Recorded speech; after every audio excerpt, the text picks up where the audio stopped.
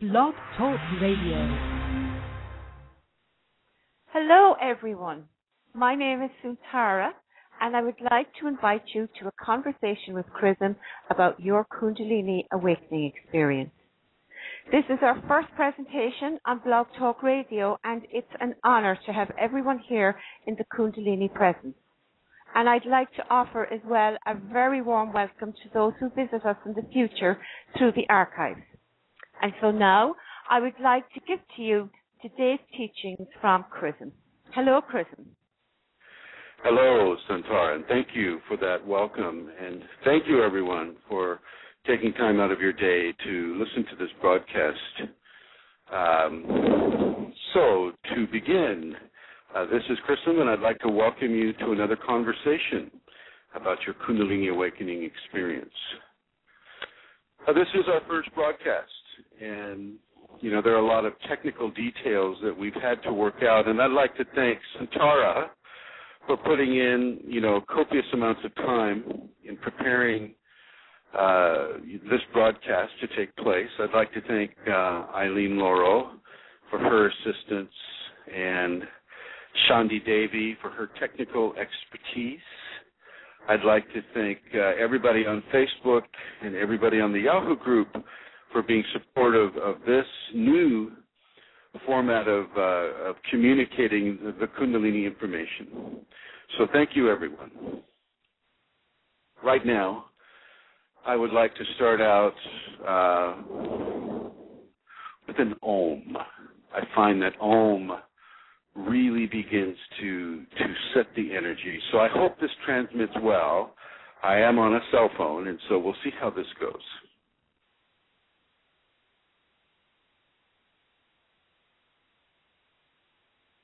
We're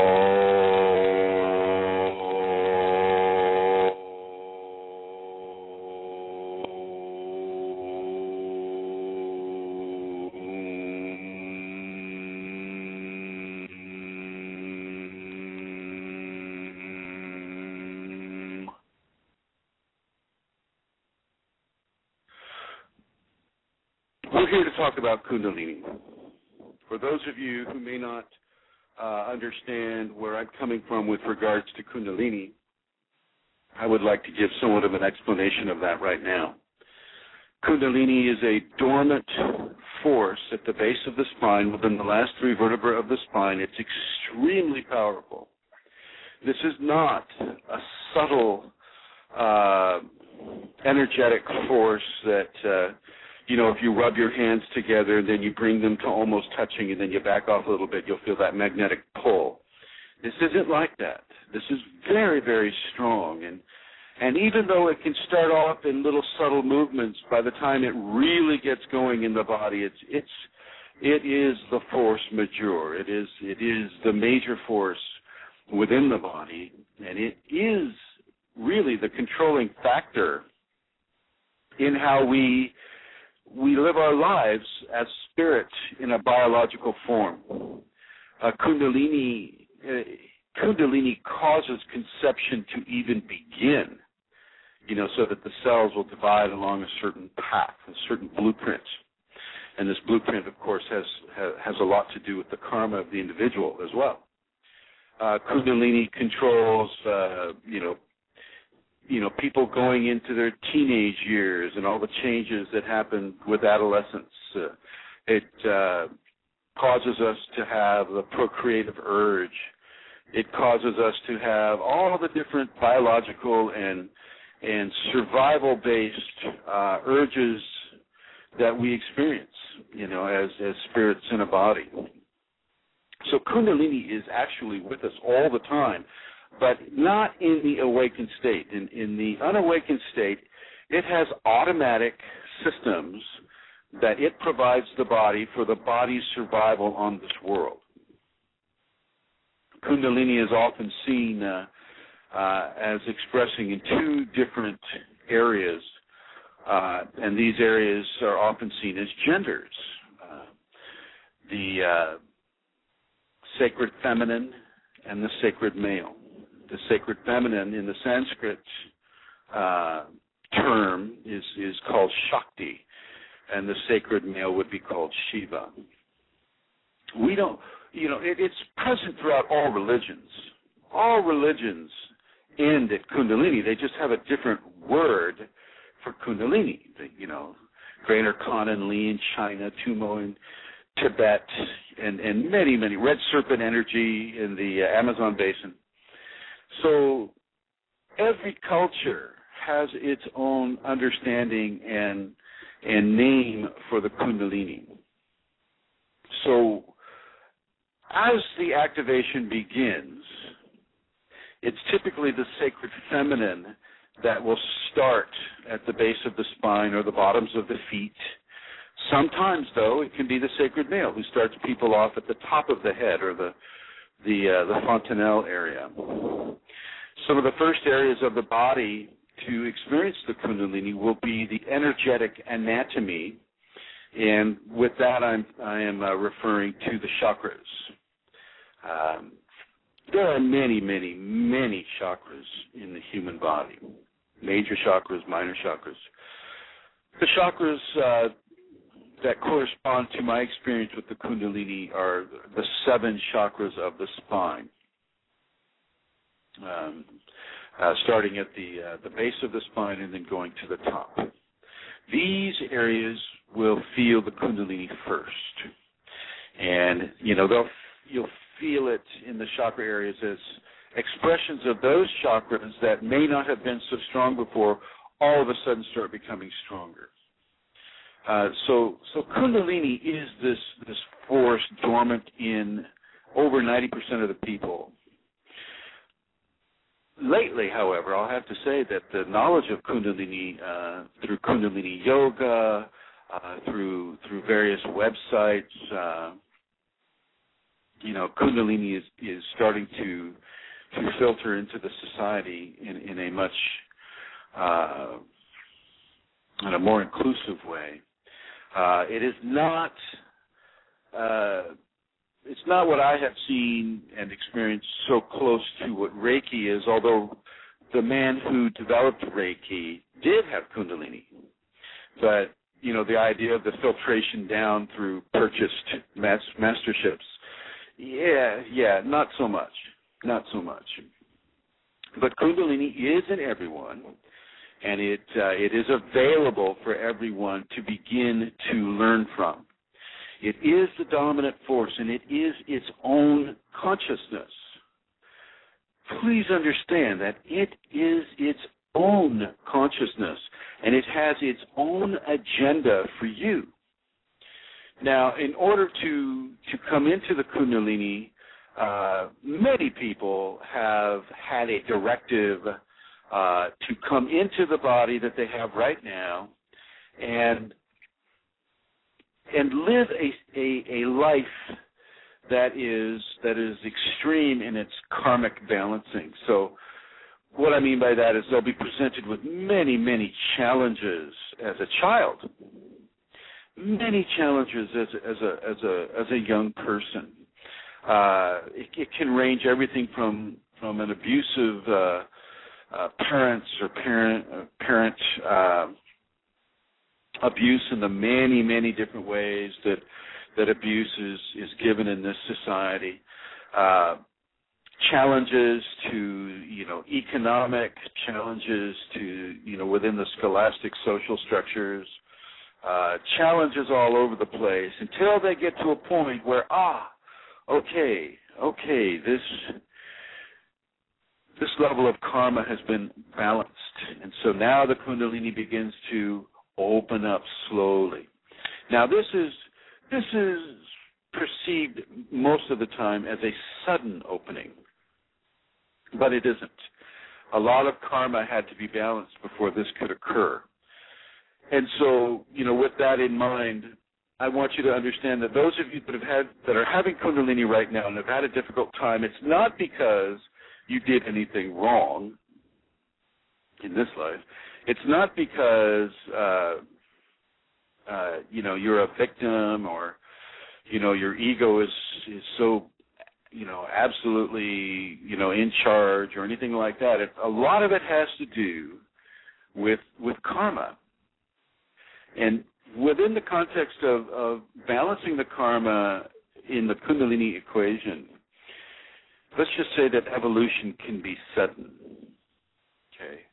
And the Kundalini will speed up that evolutionary process, uh, you know, for a person, you know, wanting or or having the Kundalini experience without without any kind of a preconceived notion.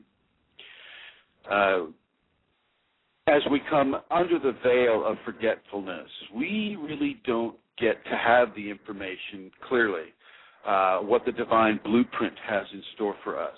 And when I say divine, I mean it in a real sense. I mean it in the sense of the Kundalini consciousness.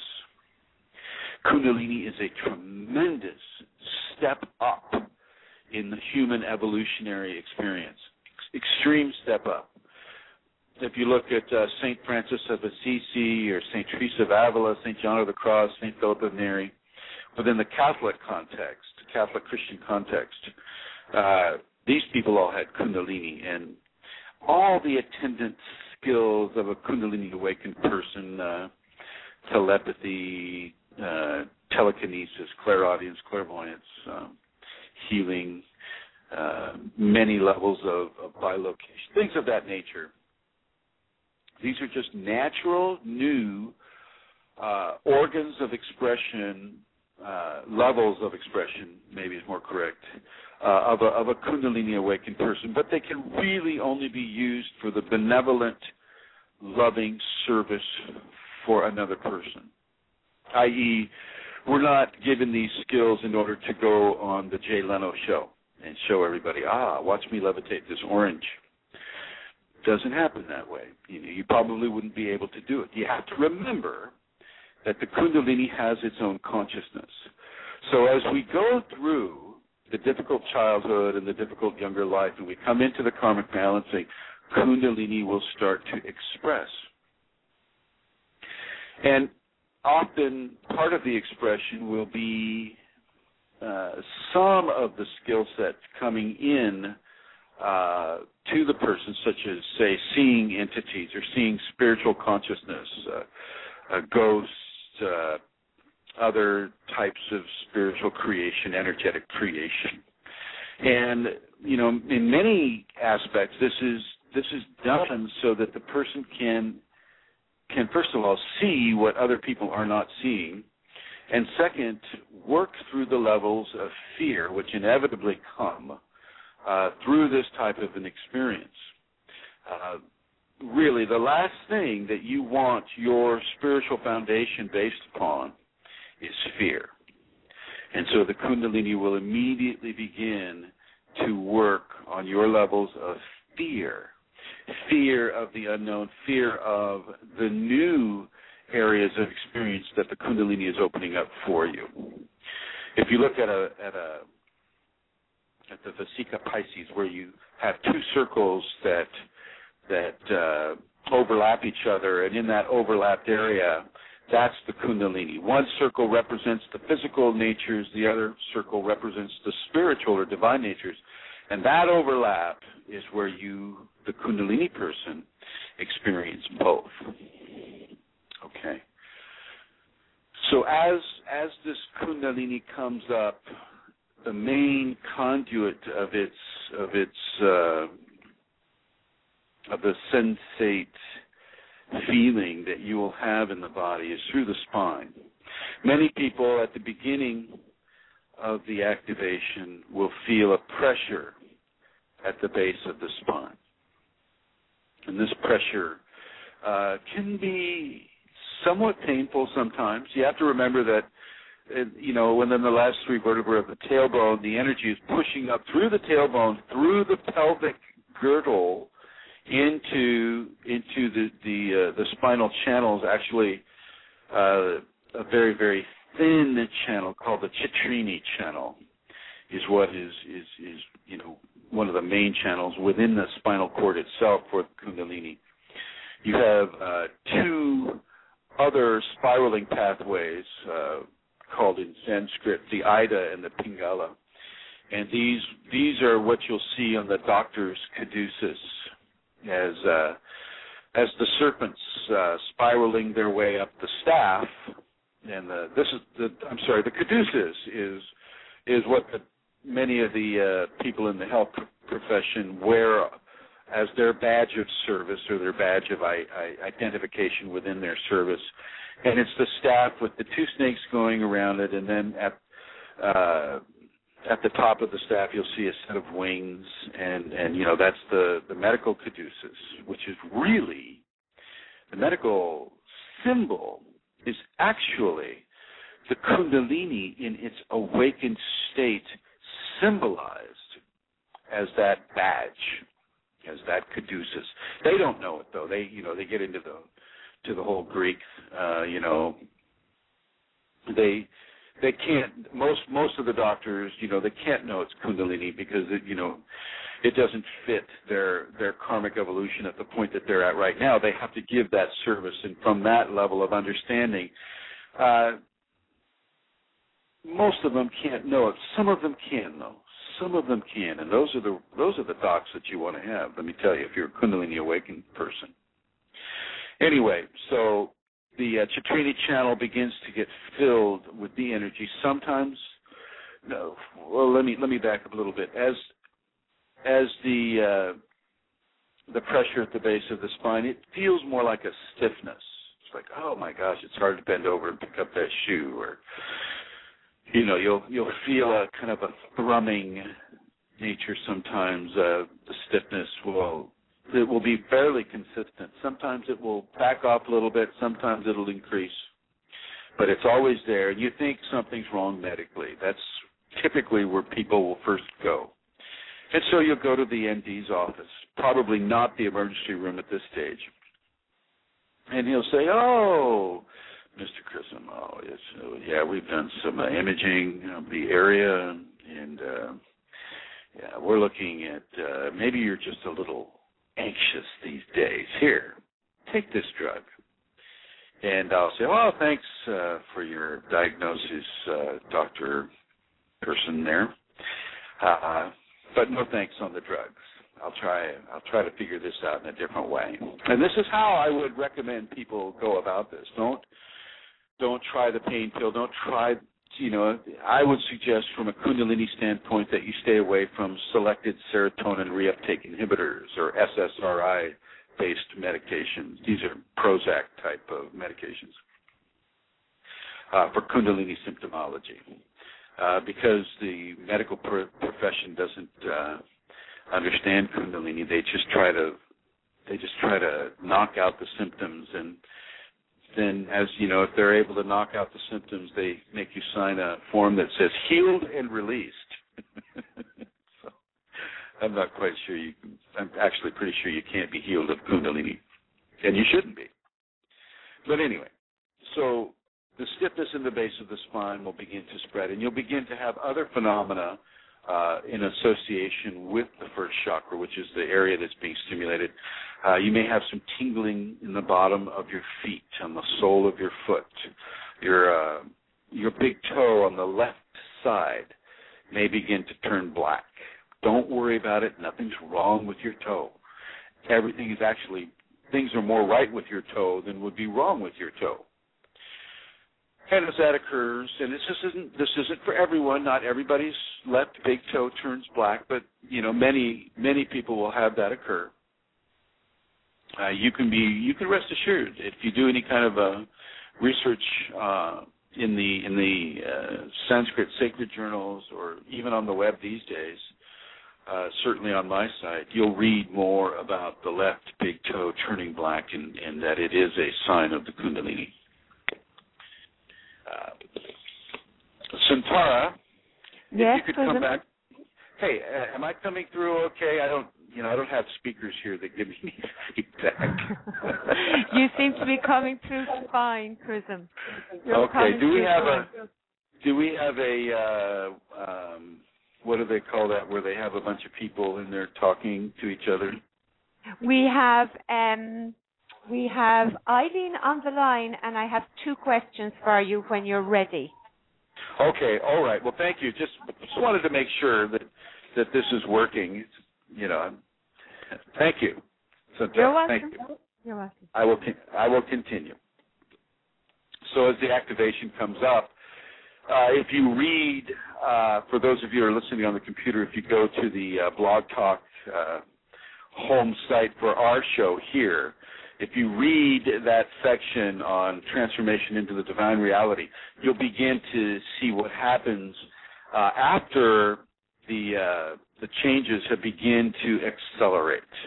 And then what you read in the transformation into the divine reality, that is the the pinnacle.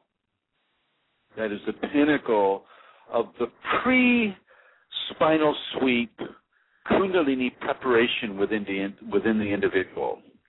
And this is when the the energies sweep up the spine, sweep up the Ida and Pingala in an extremely rapid format causing the person to arch back and and have they'll experience so many different things at the same time. Lights and smells and and visions and oneness with with uh, the the divine. And and by the divine I'm saying oneness with God oneness with all creation. And this this is a tremendous experience this is a life changing life shattering experience, and everything is different for the person after that. Everything is different. You all of a sudden you've been connected for a for a microsecond with with everything that is in existence. I mean, think about that. Just look out in the night sky and, and know that you were connected with all of those stars. Lift a finger, push a star. Okay, it, the connection is real every little every little pebble on the earth, every leaf in the tree, every cell and all the animals, insects and fish and birds and mammals and everything on this world that you were at one with. You can see, I mean if you can if you can hear my words and understand what I'm saying, it's a tremendous, powerful experience and it should not have should not last for longer than a very, very brief time because you would not survive it happening continuously. It should just be a flash in there, and then a residual feeling of knowledge and oneness and unity and understanding, but not the. You don't want to have the extended top pinnacle point because they're, you know, that'll just kind of blast you right out of the body and permanently and you still have you have things to do. You came into this life to have a kundalini life, and there are plenty of people that can benefit from the grace that is flowing through you. Now, this is for the people that come into kundalini with the evolutionary blueprint intact, i.e., they came into the body uh, with the patterns of probability directed towards having a kundalini awakened life. Okay, now for those of you who are searching for Kundalini, who are being who feel they're being called by the Kundalini. This is also a very, very uh, real uh, experience. It's, and I want to validate you in your search. Now, some of the issues that, that come up for you is is uh, once again there's some karmic balancing that need to be done by you. Okay, uh, for those of you who are searching for this, you're buying books, you're you're scanning the, the the internet, you're looking at all these different teachers, and you're thinking, well, God, do I really need to to to become a you know the student of the shaman in Siberia, or do I need to become a Hindu, or you know, do I need to to to drink ayahuasca, or do I need to you know what do I with all the with all the opportunities out there for uh, energetic exploration, you know, it's sometimes difficult to tell which way is the best way. And I'm going to suggest I'll add my little thing here into the plethora of uh, options. I'm going to suggest that just going with what is natural in your body at the base of the spine, that is the way to go. That is what you should follow you follow the kundalini within you. And you follow what it gives you an urge to experience. It can it can direct you in many different ways uh, in regards to your search, in regards to your karmic balancing. So say it'll it'll give you a tyrannical boss. I don't know if that is a is a real word, tyrannical. somebody who's a somebody who's a tyrant, okay, and you know they're just giving you a heart. I had plenty of these, by the way. I know about these folks. Too. God bless them. And uh, these people are uh, are there to to really make your life difficult. So in a Kundalini per, uh, perspective, though, these people are forcing you into levels of forgiveness, forcing you into levels of tolerance, forcing you into levels and hello. Hello. Oh, I see. Somebody's calling me. I didn't think oh. that would happen. That's all right. That's all right. You're okay on the radio, Chrism. all right, all right. You're not hearing a beep beep, are you? No, I'm not hearing Oh, good, good, good. Can I just can I just take a moment, Chrism, to tell people Yeah. about the call-in number? So, if you've just Please do. tuned in, if you've just tuned in, you're listening to Kundalini Conversations with Chrism, and if you'd like to phone in and speak with him, ask a question or comment, the number is three four seven nine three four zero zero two six. So You say, say Um, again, yeah. please. You say that Okay, so again? the number is 347. Now that's in a bracket. And then 9340026. Thank you. Thank you. Okay. Uh, so once again, that number was three. Uh, say it again, Amelia. 347 9340026. Thank you. Thank you. You're welcome. Okay, uh, let's see. Before that call interrupted me, uh, yeah. So there was, with these petty tyrants, they will force you into levels of of, of practice that I, that are included in the safety protocols for Kundalini activation. And these these tyrants, these people that make your life really hard, uh, they they serve a, a tremendously positive pur- purpose in a person uh, who is searching or going into the Kundalini. In real time, you get to experience uh, a form of active forgiveness. Uh, it doesn't mean that they're any less irritating, but it can it can mean that actually. As you forgive that person, they become less irritating as you as you tolerate that person, uh, you know it it builds a strength within you. Um, so forgiveness and tolerance and patience, knowing that wow, okay, uh, this person's a real challenge to me, but but I have these positive things happening, and then your Kundalini will counsel you through in through giving you the impulse whether to stay or to go. Uh, just because you're on on the road and seeking Kundalini doesn't mean you have to put yourself in the path of people that will like to flatten their employees like a truck. You don't need to do that. Okay, and you also don't need to take them so seriously that they they diminish you in any way. You shouldn't allow people to diminish you. You are a standalone uh, creation of the divine. All of us are. You're just coming into the conscious awareness of it. And so, no boss, no parent, no spouse, boyfriend, girlfriend, child can uh, can diminish you. And so, don't. I would really counsel you not to allow that to occur.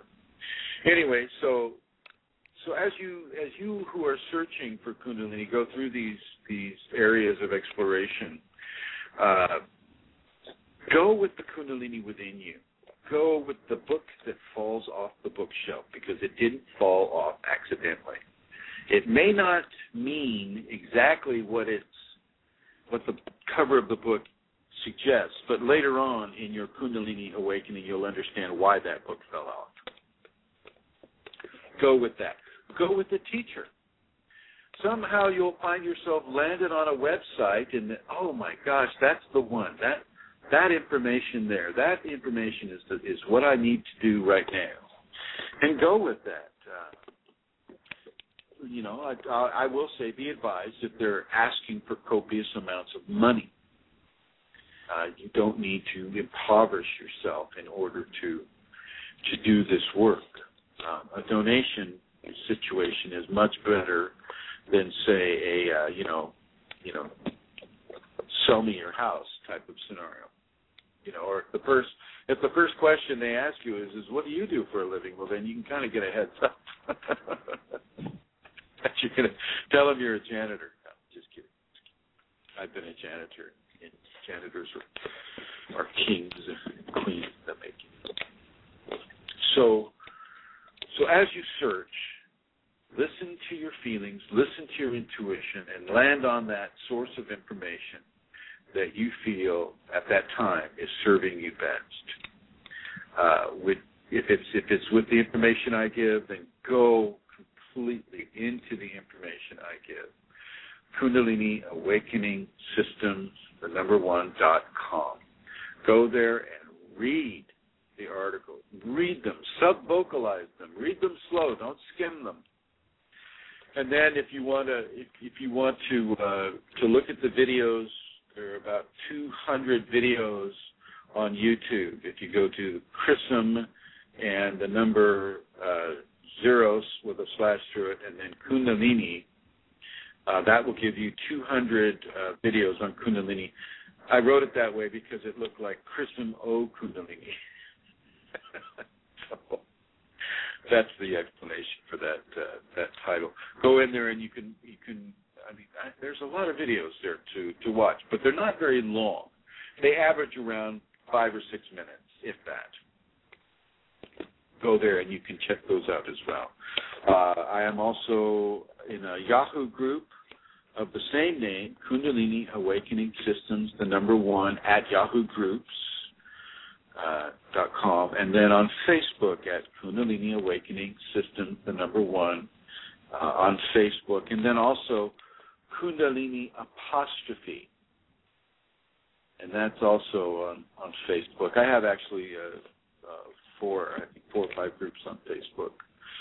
Um, I would like to thank. Uh, speaking of Facebook, I would like people to know about Spiritual Lounge on Facebook. It's a Facebook group run by Dara Katari and, and Katari and uh, Dara would like to thank you for uh, the many articles that you have posted in your e-zine and on your magazine as well. So, so uh, kudos to you.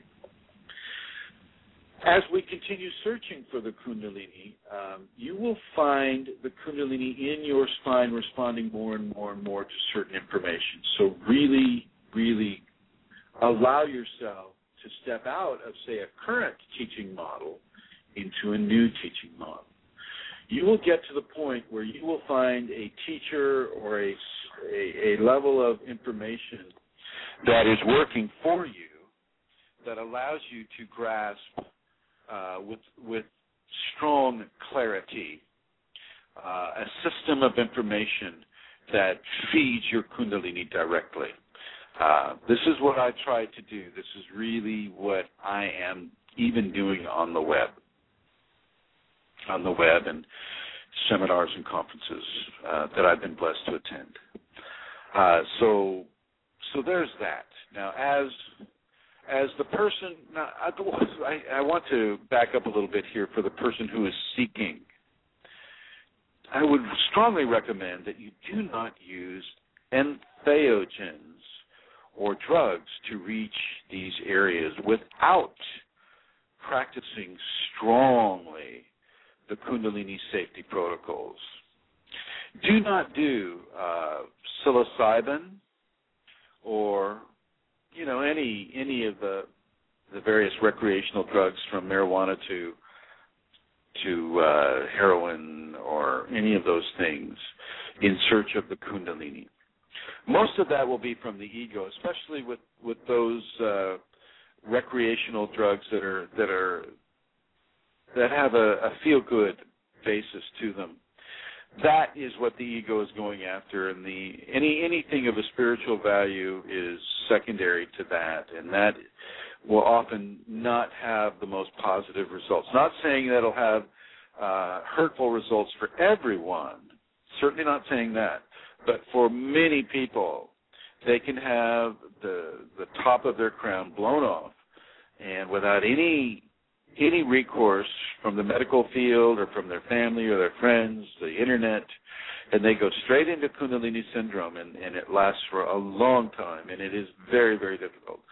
Kundalini syndrome is is where a, a person's ego has not been through a level of refinement enough to be able to withstand the sheer force of this powerful energy that's coming through, and it it, can literally drive a person crazy with fear, crazy with uh, with the many different uh, expressions that come through them, and also lay them wide open to a a uh, an entity attack, a, a discarnate entity attack.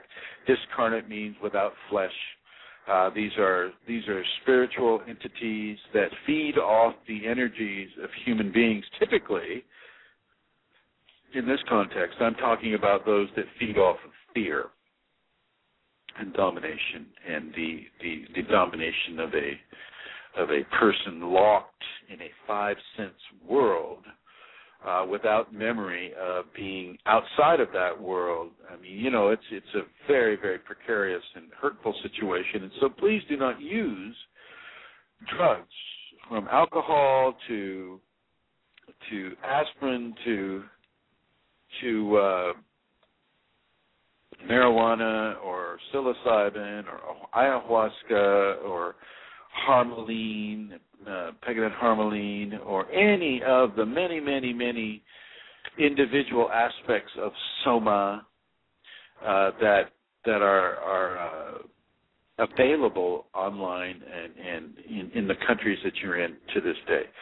Please work from your body and your mind and your emotions and your psychology and your spirituality.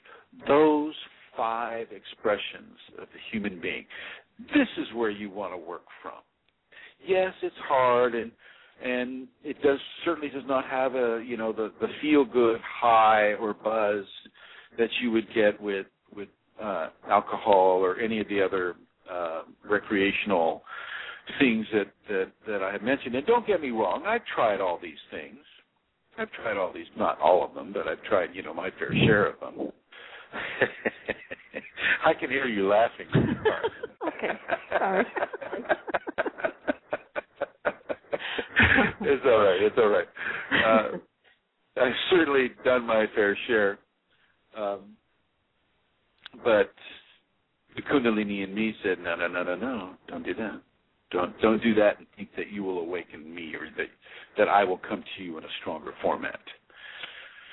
So yeah, uh, stay away from as much of that as you can. And if you really want to know, this is this is for both sets now. This is for people that have already activated or awakened their kundalini, and this is for people that are looking to activate their kundalini. The fastest and most rapid way, well, there are a few, uh, the first one that I will suggest is absolute devotion. If you look, uh, if you go to Santara's Facebook page, uh, you'll see something, uh, a video that she put together, actually her Kundalini put together, called Kundalini Devotion.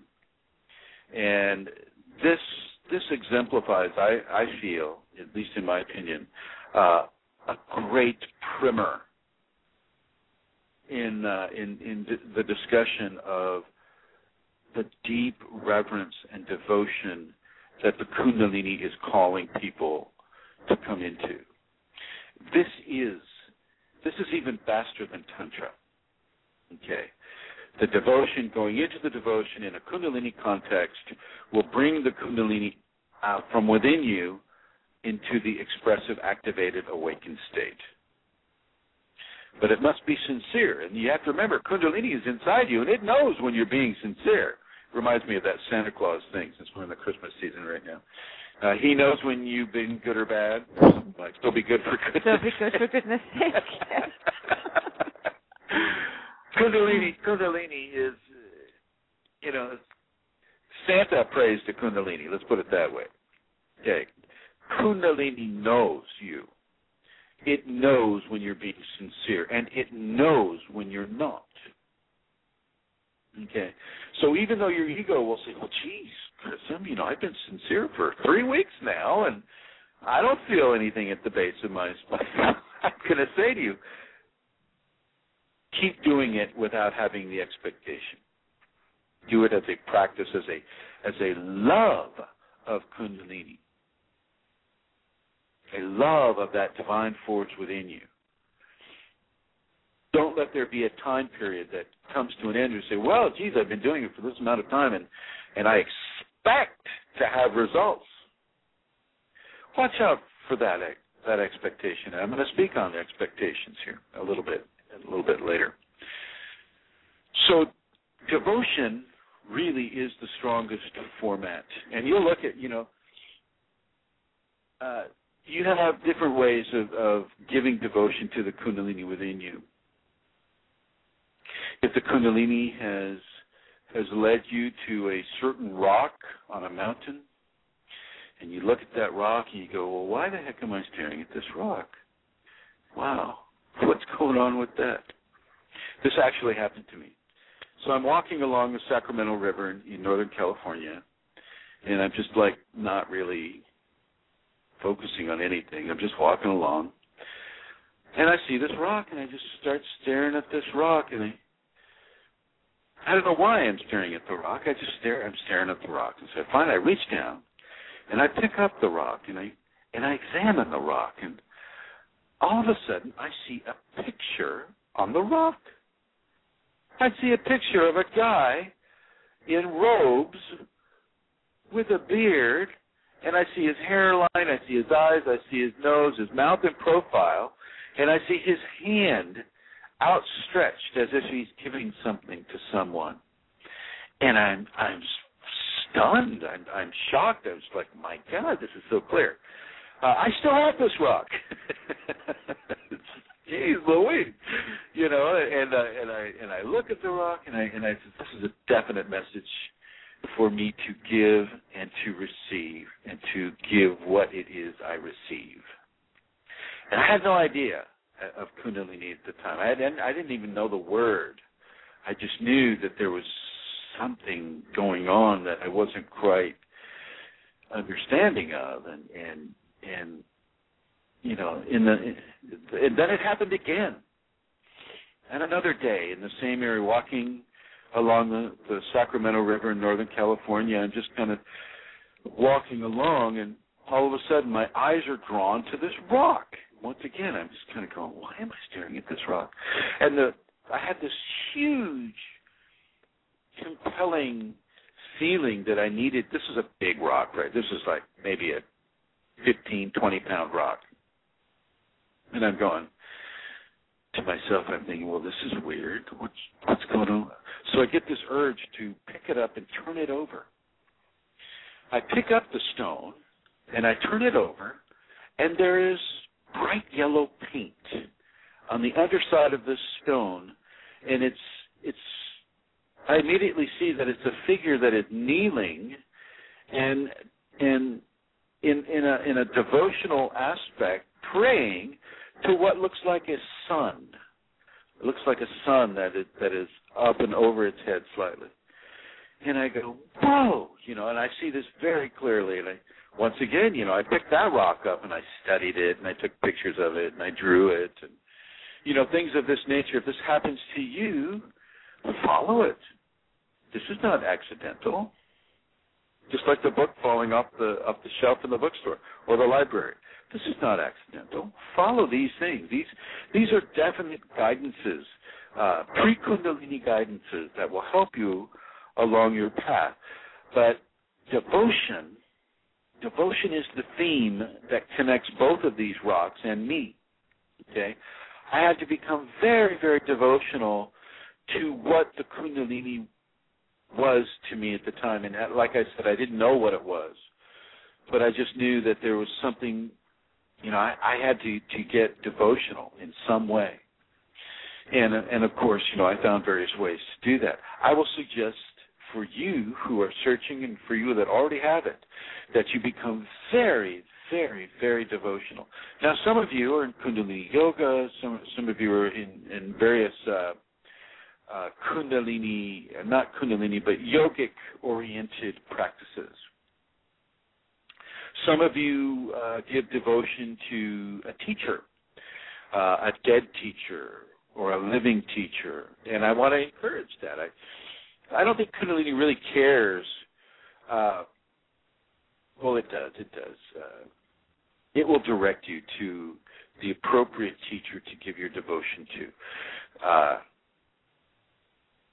people have used me as a devotional target, and I say it that way because when people give devotion to me, I I know I already know that it's not about me, and the Kundalini in me is it blatantly said so.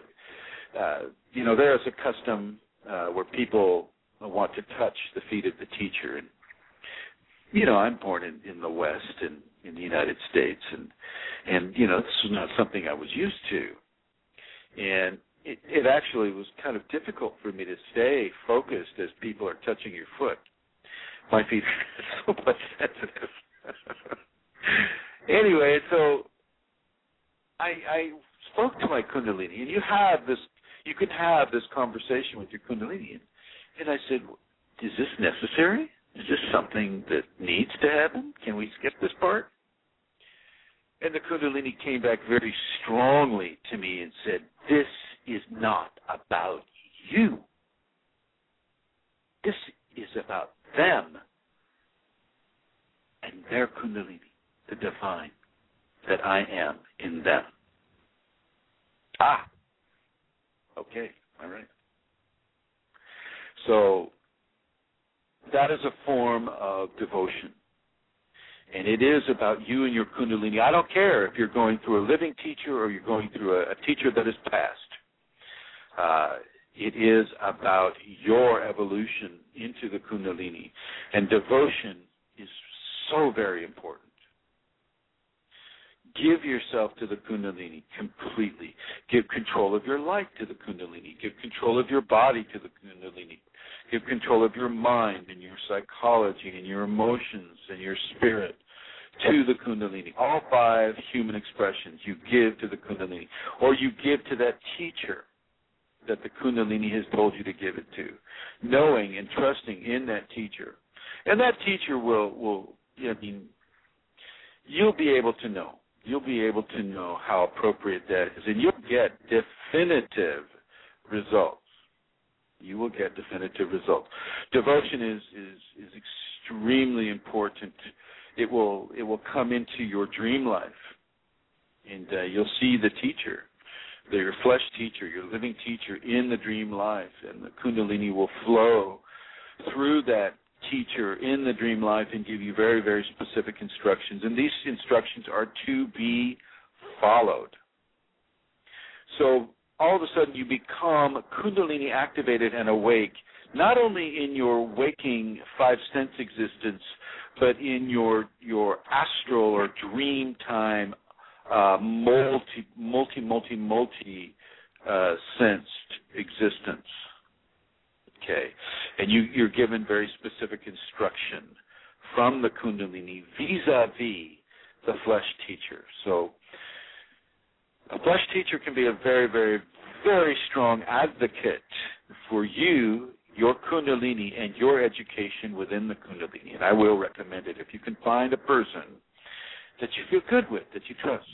Uh, if it's a dead teacher, it can be a little bit more of a challenge.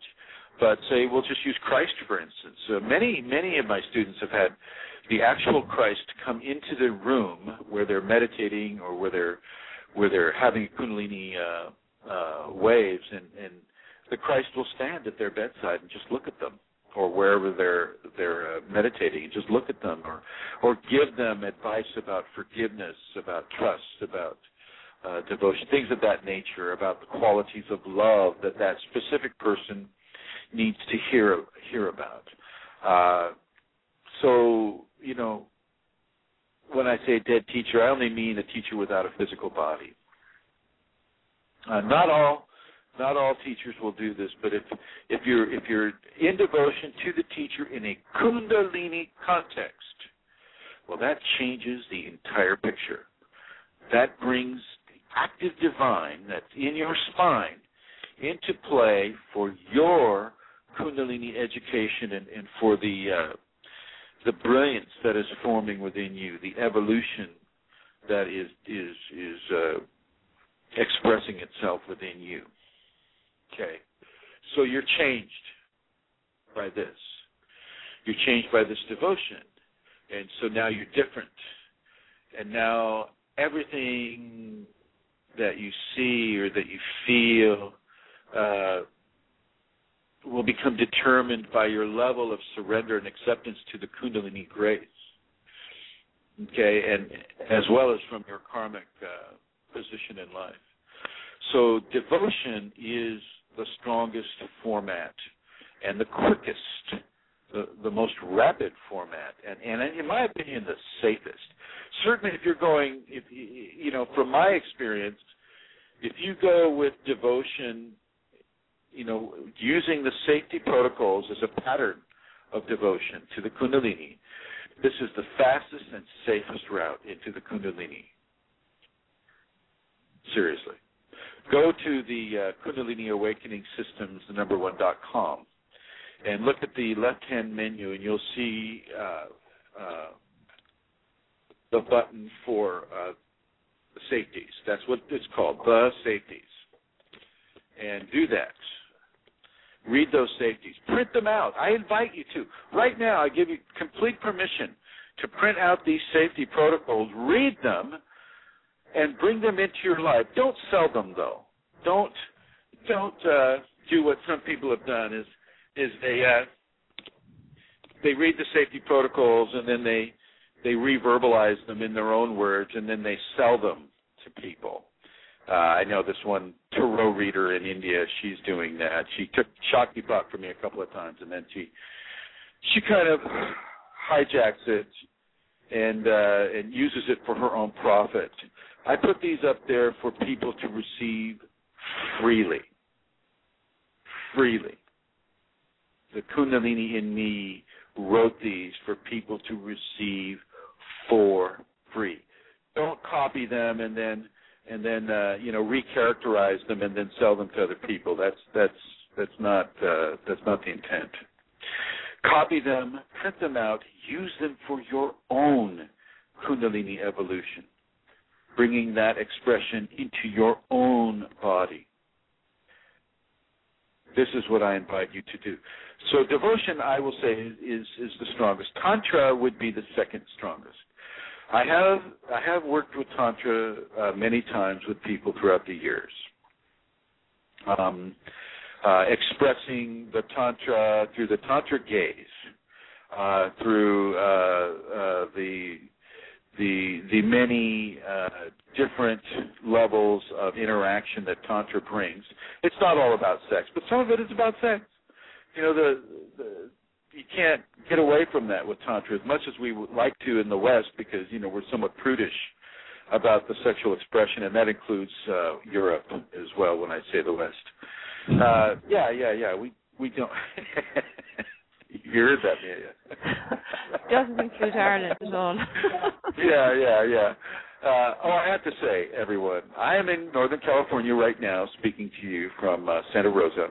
Amelia is on the studio. She is controlling the show, and she is in the Kingdom of Kerry in in uh, southwestern Ireland.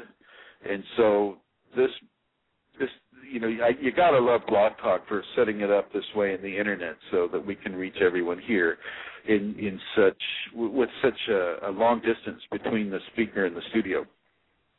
Anyway uh, within the tantra context, uh, yeah, sex is part of it. Sex is part of it. Sex is part of the kundalini. The kundalini even gives you a sex drive. You know, and, and so, you know, within some of the tantric teachings, which you know, I'm going to have to to to because of the prudishness of, of some of the societies, you know, I can't go into real explicit teachings with this, even though this is what I would prefer to do. I, I, I don't like dancing around any of these issues based upon people's uh, uh, prudishness or fear. But that is the nature of, of, of, the scenario here right now, so I will abide by that. Uh, anything that that has to do with with a sexual uh, interest or a sexual receptivity or or anything that has to do with the sexual expression at all, first and second chakra expressions, uh, are just as important as anything that occurs at the fifth, sixth, or seventh chakras. As a matter of fact, uh, using the first and second chakra expressions of sexual nature uh, within, say, the joining aspect of the two genders is extremely conducive to Kundalini uh, excitation. And this is why, of course, that people in India have been doing it for thousands of years. Even though you know the British invaded India and you know and and, and uh, you know gave some of their uh, mental blockages to the Indian population with regards to Victorianism or Edwardian, you know, sexual preferences. Uh, still, many, many, many of the of the people in India understand. And if you look at some of the statues in in uh, Renaissance India, classical India, you can see them today, and it's all about uh, the the sexual connection and its ability to bring a person into Kundalini transcendence. This is why it is held on so long, is because it's effective. And uh, you know, you know, I, I get a lot of people telling me I went to San Francisco the other day at an Alex Grey event, and oh, you can't have tantra and, and penetrate, and and you know, you don't have to penetrate. And it's like, oh, please get over it get over yourself. Get over your fears. You know, penetration is how you actually came into existence. So just, you know, get okay with it. Um, I don't care if people penetrate or not. What I care about is the intention that is behind the energy, uh, with or without penetration in the uh, in the uh, tantric equation.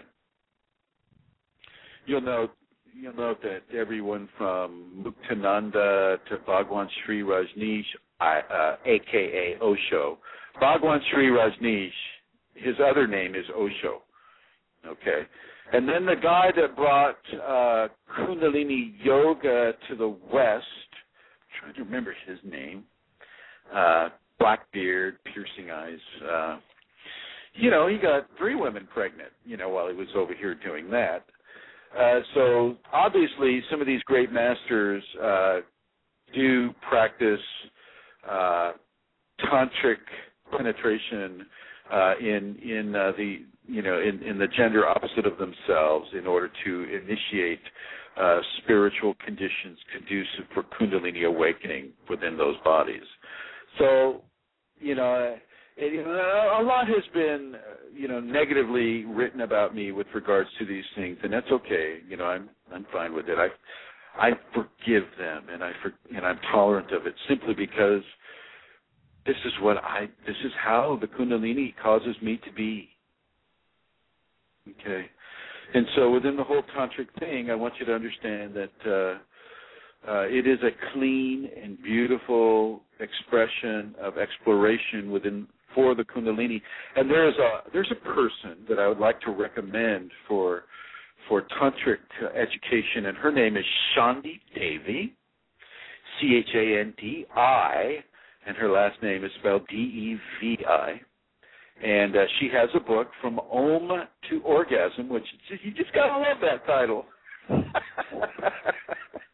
anyway, uh, uh, I you know I don't know if you're listening or not, but uh, I, I want to thank you for that book and for the knowledge and grace that you have brought uh, the understandings of tantra into into the Western societies. and uh, and I and I wish you great great further success in that endeavor. So Chandi, once again, thank you very much. Uh, and so, so we have devotion, we have tantra, and then we just we have straight meditation. Meditation is is really fundamental to the Kundalini awakening process. Ah, but wait, before I get into this, what's our time looking like, Amelia? We have um, just short of 30 minutes left, Chrism. Ah, ah, okay, thank you, uh, Amelia.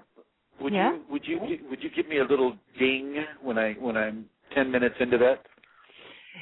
10 minutes into that, 10 minutes to go, you mean? Yeah, yeah, ten yeah. minutes from now. From now. 10 minutes from now, sure, I will. Okay. Meditation is so very important. Um, uh, for a lot of, of my private students, I will suggest a devotional and meditation practice in addition to the five or the the uh, the safety uh, protocols, which includes the five Tibetans. Uh, once again, you can go to the uh, YouTube and just go Chrism uh, Kundalini, and you'll you'll find all my videos. Uh, meditation is extremely important, and I'm talking about a stillness meditation. Stillness, being able to sit still. Now, you don't have to sit in full lotus position or, you know, any kind of really, you know, exotic lotus or you know yoga oriented position. You don't have to do that at all. You don't have to put your hand in some wildly amazing mudra either. You can just join your your your forefinger tip and your thumb tip on both hands. That's it. Spread those other fingers out. Put them on your knees. Put them in your lap. Okay. You don't have to do anything that is that is really uh, forcing you to do other things in order to get to the point where you can meditate. Sit in a chair. When I started meditating, I didn't I didn't sit on the floor in full lotus position, you know, with incense burning around me and monks chanting in the background. I just didn't. I I was sitting in a aluminum metal shed in a chair, a metal chair, uh, and in this shed, it was an old gardening shed, and I was surrounded on every wall by black widows, black widow spiders. And I was a little concerned about this. Yeah, you know, I open the door and I see them all there and I say, "Hello, ladies. Uh, if you don't bother me, I won't bother you." for an entire year, every day for a year, I meditated for at very least 21 minutes in that in that aluminum shed, sitting in a chair towards the edge of the chair. I didn't use the seat back so much. Uh, I had my feet flat on the ground. I had my fingers in the mudra that I just described to you, for fingertip and thumb tip on both sides, with the uh, the uh, other fingers spread out, on my knees, and I would I would get into a stillness mantra. The first thing I would do is is I would say, I am at one with the all that I am. I am at one with the all that I am. I'd say that over and over and over and over. And then I would do an overlapping, interlinking uh, mantra of the same. I would I would say it like this: I am at one with the all that I am at one with the all that I am at one with the all that I am at one with the all that I am at one with the all that I am. You see the difference? That's a, that's a, that is a, a mantra that has no ending. It just goes into infinity, and so I would use that quite a bit. And then from there, I would just stop the mantra. I would be compelled to stop the mantra and just breathe through the nose and just follow the breath. Bringing the eyes up to the brow points. The point is about an inch above your where your eyebrows would be, up in the middle of the forehead, or not in the middle of the forehead, but you know, uh, up to about an inch above where your eyebrows are, in the middle. And I would I would just go into that stillness, and eventually I would feel a channel of energy begin to form between the nostrils and the top of the head, and uh, pretty soon you're able to breathe into these channels. And so this is very very important that a that a, a stillness meditation occur. And don't have any expectation of, of your path, you know, being exactly the same as my path. Your path will be unique to you. In all of the different venues that we've been discussing. It will be unique to you. You will you may not turn over rocks and see bright yellow stripes on the other side of a rock. Don't expect that to happen. Okay, but meditation is extremely important and I want you to really engage in it. Now, yes, you can meditate anywhere. When you start doing stillness meditation, you can be still on the bus. You can be still on the what do they call that in England? The underground. Uh, you can be still, you know, as as you're. You just don't want to be still while you're driving. I don't want you to meditate stillness wise while you're driving you pay attention to the road. You pay attention to the other drivers on the road. They're your brothers and sisters.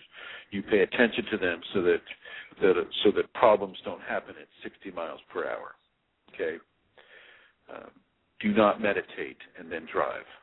Just putting that out there.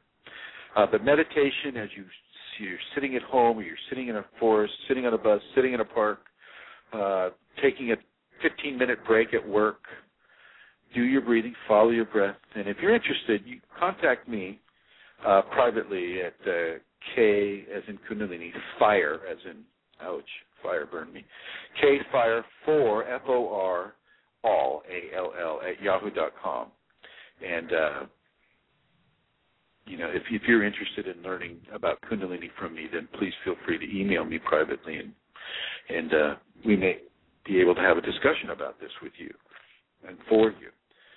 Uh, so meditation is the third leg of a trinity of of uh, awakening protocols that you can follow. Now I want to talk about expectation. Expectation will get in the way of your awakening and activation. Activation, uh, expectation is controlled by your ego. I want it now. I want it now. And I want it the way that I expect to have it. And Kundalini will just kind of look at that and give a gentle smile to her Kundalini child and go, oh boy, do we have a long ways to go with that one. You don't get to have it your way. The Kundalini will give it to you the way it wants you to have it. You do not get to control your enlightenment. Your enlightenment controls you. Your enlightenment controls you.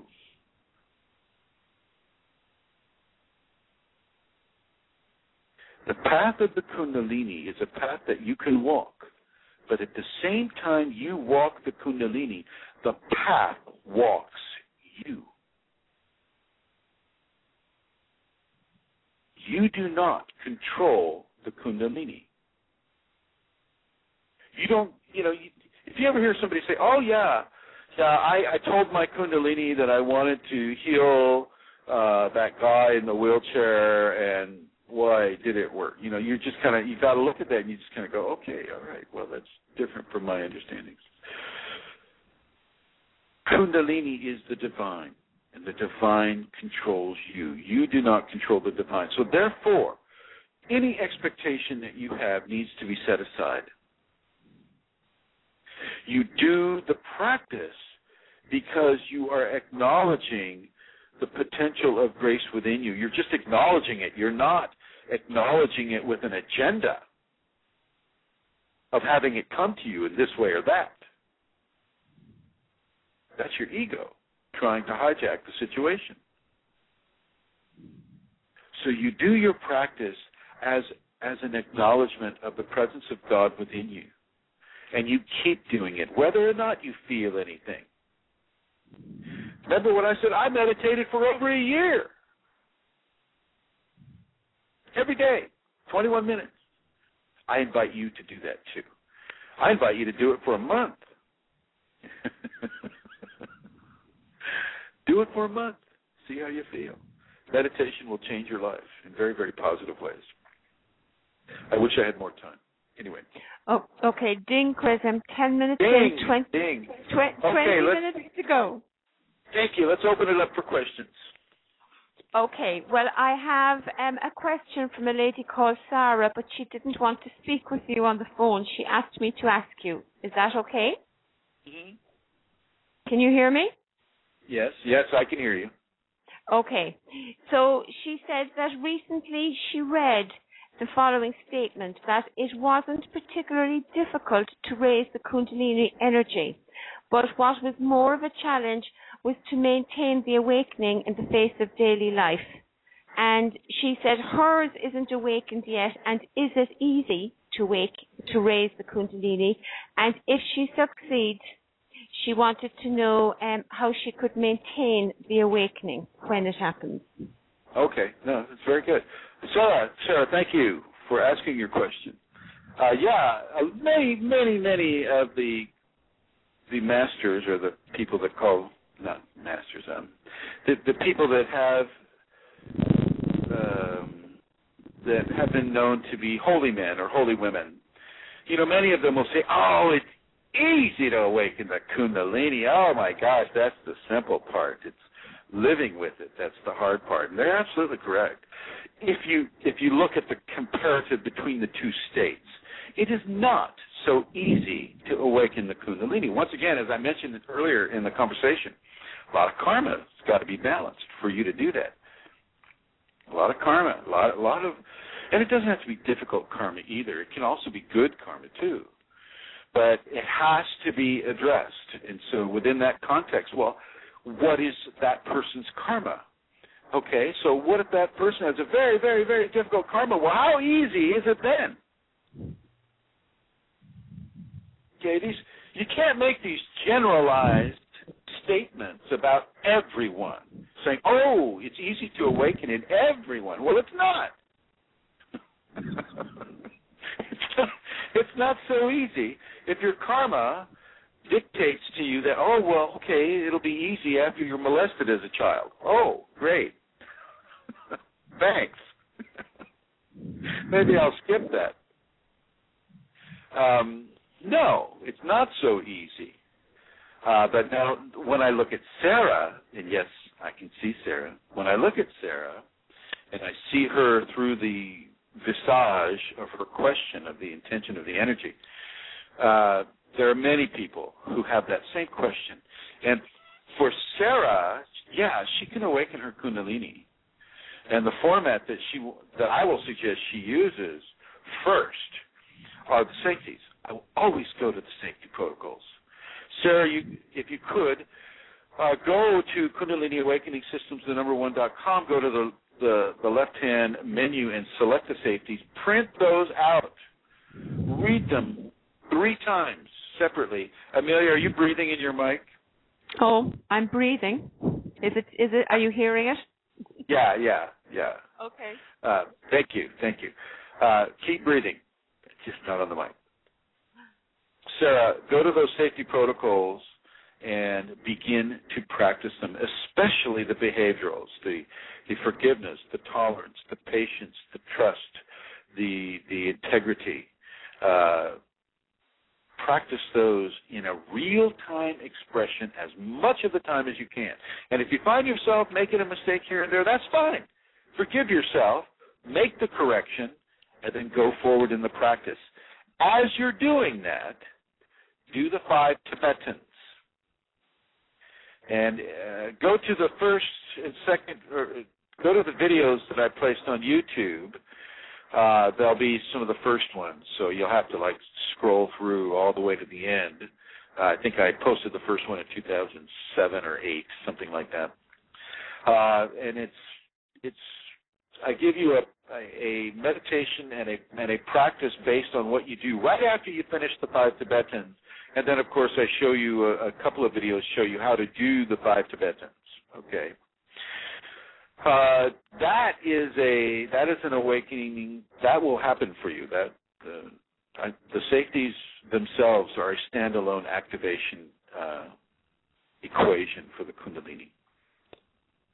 So I hope that works for you, Sarah. And if you're interested, uh, feel free to email me uh, with any other questions you may have, or you can email Santara, or you know, on Facebook or, or in private emails. My email, once again, is kfireforall at yahoo.com. Uh, so thank you for asking the question. And yes, it can be easy if you do the work.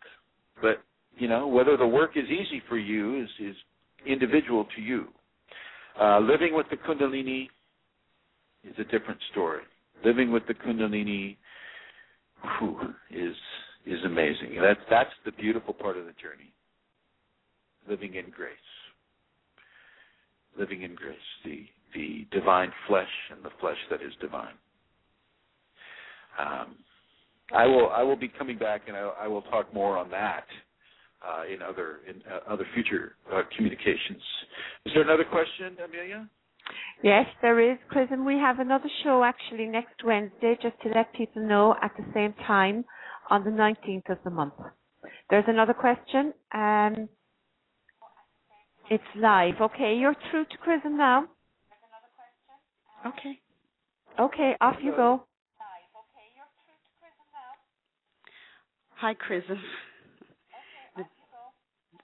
Chrism, Um, this is can you turn can you turn off your your um Yes, yes. yeah, thank Computer, yeah, yeah. Hello. Okay. Hi, Chrism. I have a question for you, and you may have already answered this somewhat. Um, if one is activated in this lifetime, will he or she become realized in this lifetime? Uh, activation is definitely a, a step towards uh, enlightenment and realization. Absolutely, without a doubt. Uh, depending on how they surrender into that into that kundalini expression within them will determine the level of realization that they'll that they'll experience. Surrender is is the key ingredient to that. Okay. Thank you very much. You're very welcome. Thank you for asking, Eileen. hmm Amelia, anybody okay, else? Chrism. Yeah, there was a question about today's date. Um, Mark rang in, uh, but he had to go away again. So um, the question was about today's date. He said, you know, what makes today's date more significant than, say, the 11th of the 11th 11th, or the 9th of the 9 99, or the 7th of the 7 77? Would you have, or do you have any um, thing to say about the 12th or the 12th, or um, the 24th Well, of you know, December? it's, it's it's funny. It's funny. I mean, people always forget to take it- to take in consideration the two zero in front of the one two. Yes, 2012. Yes. Yeah, yeah. So in actuality, it is uh, December twelfth, uh, two thousand and twelve. And so if you look at this numerologically, uh, uh, it doesn't it doesn't add up uh, quite the same way. If you were looking at it just 12, 12, 12, well then you say, well, okay, there's a there's a trinity of trinities there, and then of course this Kundalini speaks the language of trinities, and so you could say da da da da. But that's not the case. We have 12, and then we have two zero, and then we have 12. Okay. hmm Yes. Yeah. That's so that equals eight. That, that equals eight, which is infinity. Uh, but yeah, yeah. Uh, so yeah, a lot of people forget to put in the two zero in front of the one two when they're discussing things that have to do with eleven eleven eleven or twelve twelve twelve.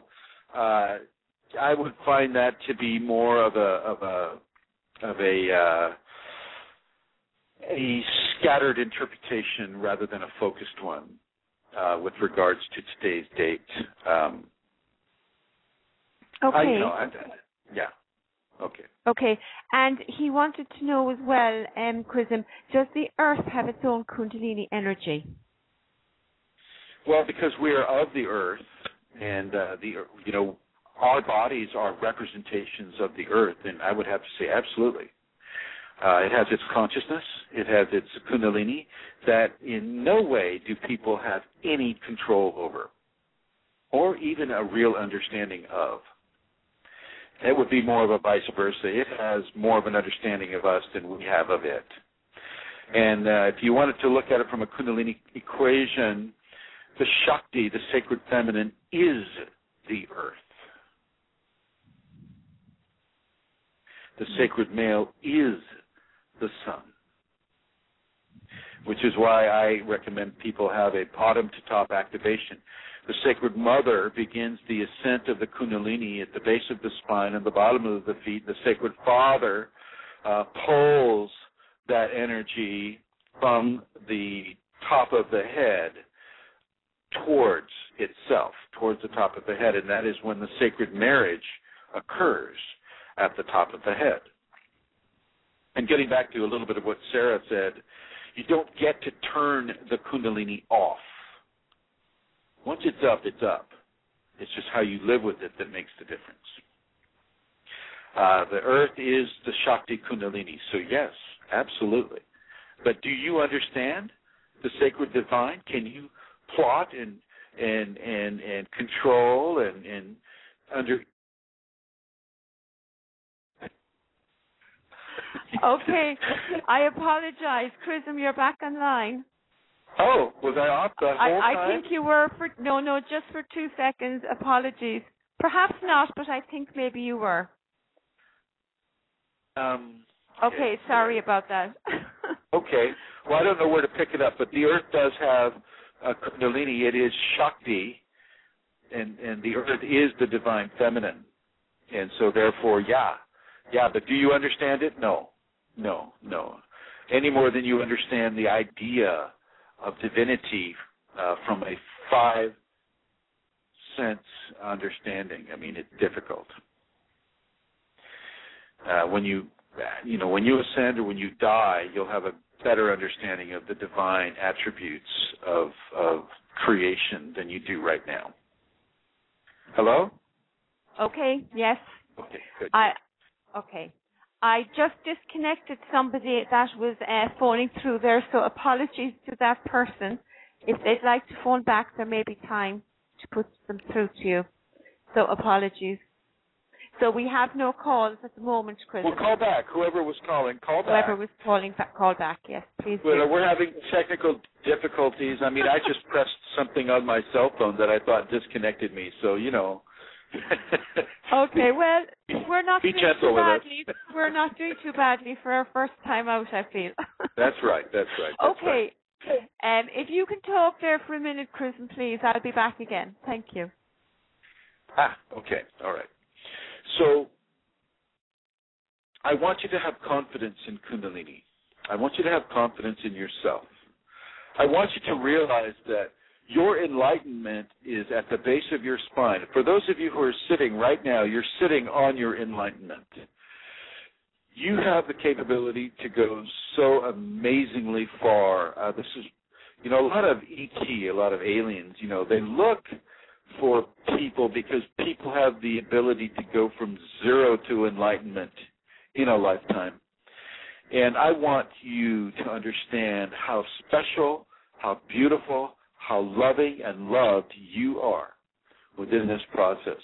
Uh, yes, yes, there are some very challenging areas within this process. And yes, yes, yes, I will say that it is good to have a flesh teacher. I will recommend it. But it is not the only way to go. And I think that uh, for those of you who are listening now, and for those of you who are listening in the future, you will feel you will feel the authenticity and the te- the integrity of the information that has been given in this first May I conversation. interrupt? May I interrupt, Chrism? yes. I've Go got. Uh, okay, Rosemary is going to speak with you now. Go ahead, Rosemary. Hi, Hello. Chrism. Hi, Rosemary. How are you? I'm fine. I'm just delighted uh, for this opportunity, but I want to thank you. Thank you for all that it took to get this together. It's not easy. And also, but even more importantly, I thank you for your devotion. That it's not only what you say, but it's also that you live this way. And that's always inspiring and touching. Thank and Kristen. I want to thank you and uh, very touched always to be part of this community. And Well, and it and is just um, very touching and inspiring for me. So thank you. Well, thank you, Rosemary, for for that kindness expressed, and and uh, you know, it takes people people like you and and and, and Santara and Eileen and and all the many people that are in this community to to bring this to the level where we can we can have these conversations. And so thank you, Rosemary, mm-hmm. for that. Thank you. You are most welcome. Thank you for all that I receive and others I know too. Thank you. Thank you. Thank but, you, uh, Rosemary. Yeah. How much time do I have? Uh, okay, you're down to four minutes now. Yeah, five minutes. A little shy of that. Okay, uh, so uh, as Amelia mentioned, we'll be having a uh, a show on the 19th, and uh, uh, just as a, I would like you all to get a little extra water and some extra food. I'm not saying that on the 21st, you know, the world is coming to an end, even though I enjoy that that concept. But but I do I do understand that fear can have many many many um, uh, ramifications of itself into society, and you know if if fear is allowed to take hold, then uh, the effects of fear can be disruptive to how you've been living your life up to this point.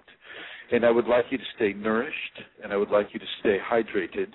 So please put some extra water uh, away, you know, at least a week's worth of water and, and maybe a month's worth of food. Uh, if, if you can, please do this because it's important for Kundalini people, all people, but but it, for, in the context of our conversation, Kundalini people need to survive. You are the vanguard of the enlightened human being. And thank you for, for listening to the show. Once again, if you go to Kundalini Awakening System, the number one dot com, uh, read that website. I would like to thank Glenn Ola for putting that website together. He is a webmaster, web designer extraordinaire. And uh, I would like you to to enjoy his website, and if you feel like donating to him in order to keep the website up, then then I'm sure that would be appreciated. Uh, I do also accept donations myself as well. So if you wish to to support our program, that's fine. We are now a public charity. Kundalini Awakening Systems is a public charity, and uh, we serve those in the Kundalini and coming in to the Kundalini. Doesn't have to be bipolar or or any of the other mental diseases that the medical profession likes to to turn it into. I would like to thank uh, Eileen and and especially Santara for learning how to drive Blog Talk Radio. How cool! So thank you very much, Santara, for your efforts here.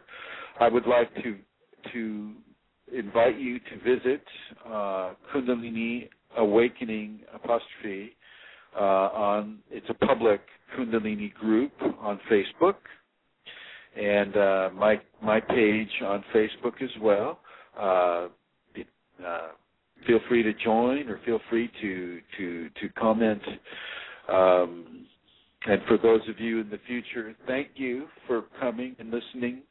Um, uh, feel free to come back on the 19th uh, with some questions if you like. I'll try not to to uh, to to talk so much. Uh, you know, a monologue state.